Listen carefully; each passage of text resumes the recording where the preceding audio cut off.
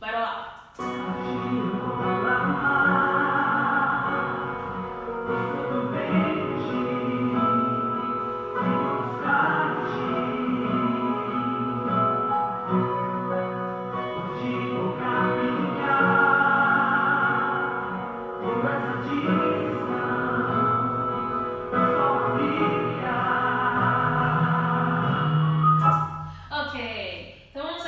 comecinho da música do Eu Me Rendo, tá bom? Aqui ela tá sendo, ela começou basic- basicamente sendo cantada em coro, né? É, Mas mesmo sendo cantada em coro, dá pra, dá pra entender mais ou menos ali como é que você tem que cantar ela. Ela começa bem suave, né?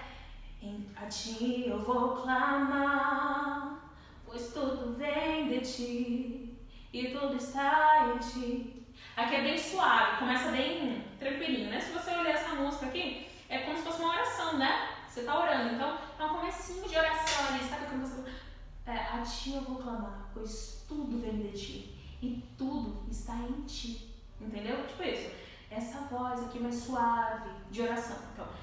A ti eu vou clamar, pois tudo vem de ti. Tem que dar essa sonoridade de eu estou orando, ok? A mesma coisa a outra frase, né? É a outra, outra estrofe, né? Por ti vou caminhar? Por ti vou caminhar, por ti vou caminhar. Tu és a direção, o sol a me guiar. E assim por diante.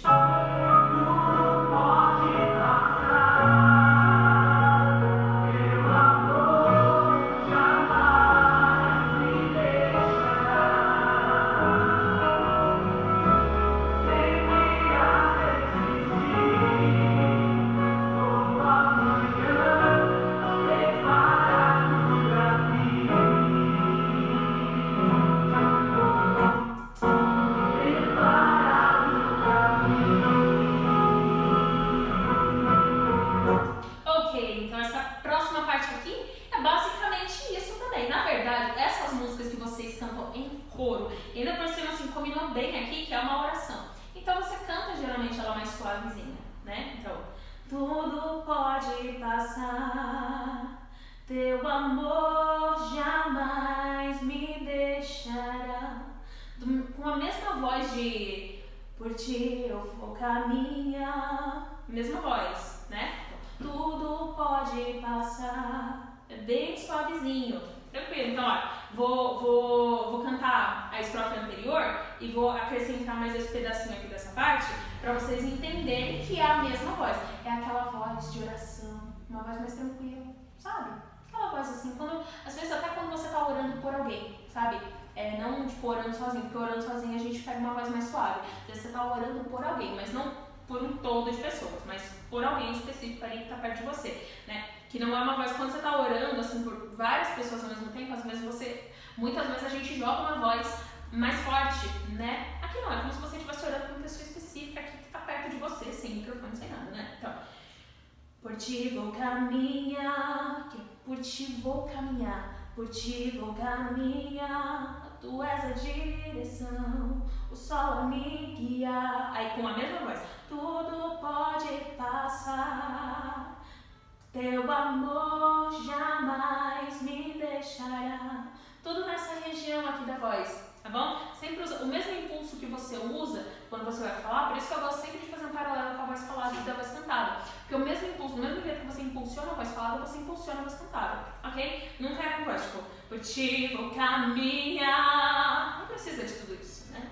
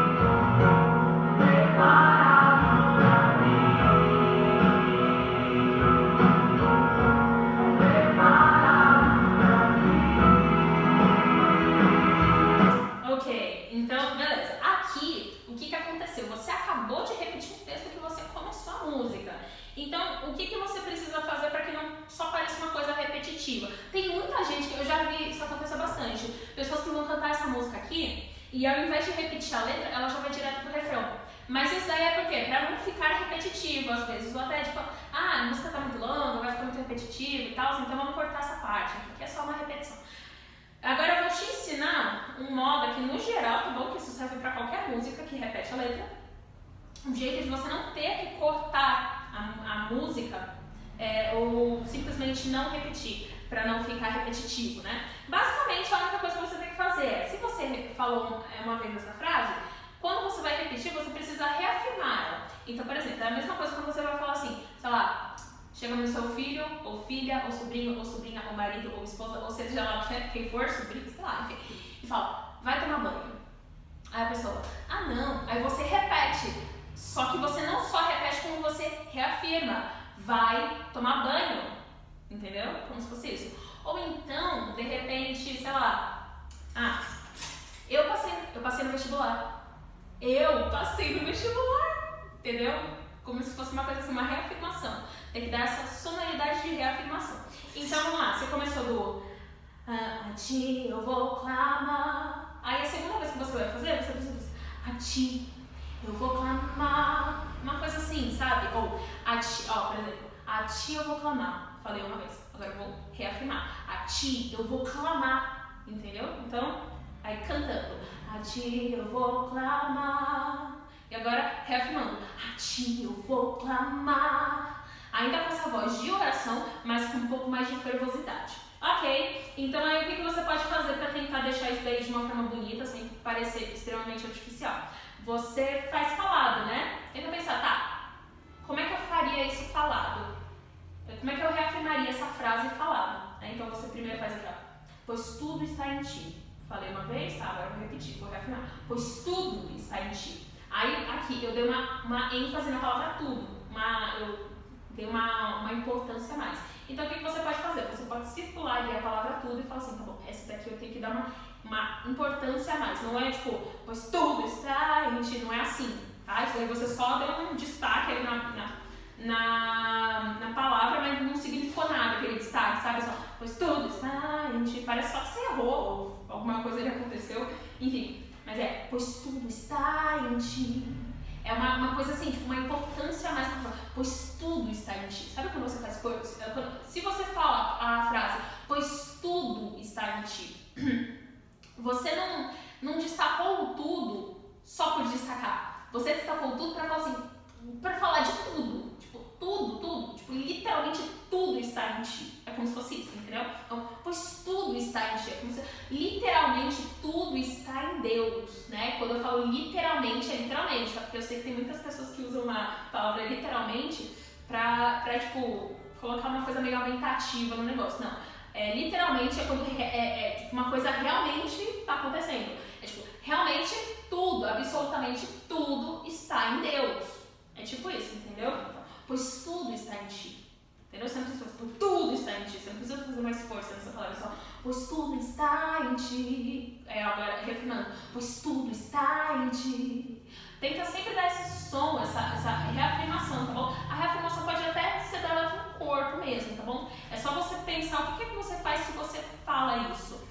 É, se, se fosse uma fala só, pois tudo está em ti. Eu fiz aqui, pois tudo está em ti, pois tudo está em ti. Eu fiz um negócio assim, eu fiz. Então, eu tenho que. Mas eu fiz natural, quando eu fiz assim, pois tudo está Viu que eu mudo toda hora? Não é a mesma a mesma expressão corporal que eu uso quando eu falo tudo, né? Pois tudo está em ti. Então, o que, que eu vou cantar? Eu não vou fazer a mesma coisa, né? pois tudo está em ti, só como se fosse uma coisa ensaiada. Não, eu tenho que dar a ênfase, tipo, daqui a alma, pois tudo está em ti pois tudo está em ti. Entendeu? Você tem que.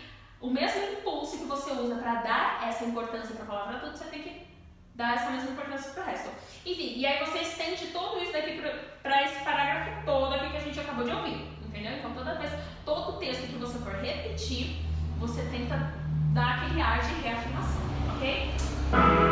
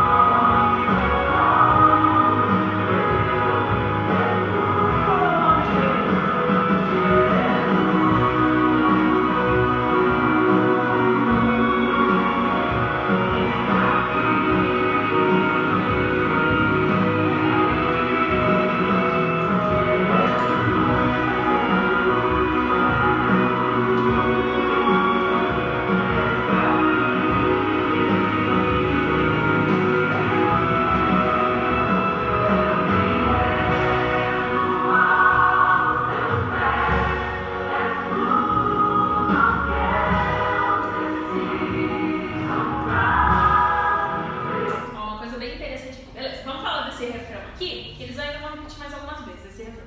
Então, primeiro de tudo aqui, eu diria que esse refrão é para fazer uma parte de sorriso, que é para demonstrar como se você estivesse falando isso com uma felicidade. Eu me rendo aos teus pés. É tudo o que eu preciso para viver. Eu me lanço aos teus braços, onde encontro o meu refúgio. Jesus, eis-me aqui.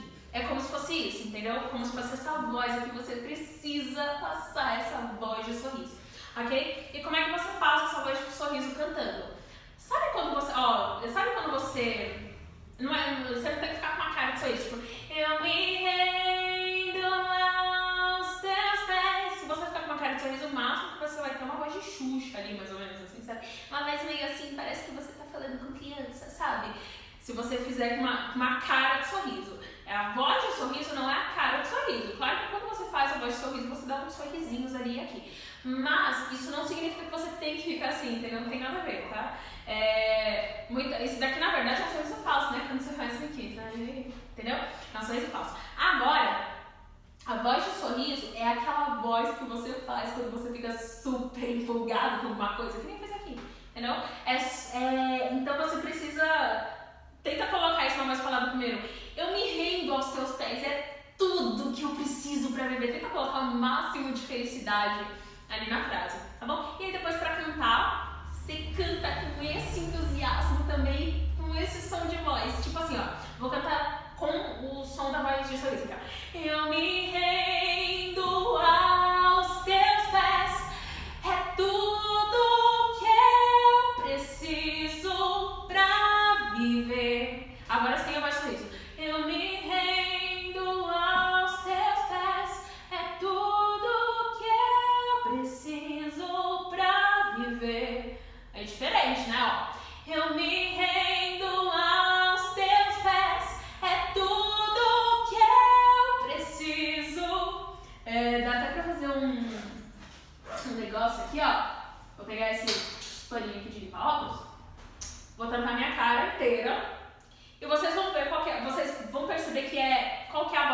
e qual que não é. Então, ó, vou tentar fazer o mínimo de expressão possível, ó.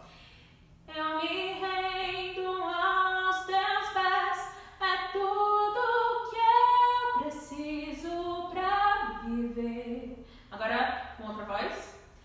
Eu me rendo aos teus pés, é tudo que eu preciso pra viver.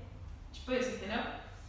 Então, é sempre com essa voz de sorriso, entendeu? Não é a a cara não tem nada a ver, tá bom? A cara acontece também, mas é mais a voz de sorriso, beleza? E aí aqui, você vê que repete, repete várias vezes, né? É bem aquela música assim pra, pro coro da igreja mesmo, a galera ali que. Tem até a galera que não sabe o restante da música, mas sabe esse, esse, esse refrão, né? E aí, muitas vezes aqui, o bom desse, desse instrumental da, da Renascer aqui é que o próprio instrumento faz a reafirmação aqui pra você. Então você vê que aqui o instrumento deu uma pausa, assim, aí parece que a voz ficou mais forte, até parece uma coisa mais fervorosa, porque o instrumento começou a dar umas pausas ali, aí parece que fica mais fervoroso. Então o próprio instrumento fez isso daí pra você, entendeu? Então por isso que ela é uma música que você não precisa nem enfeitar muito pra ficar bonita. O próprio instrumental já ajuda muito.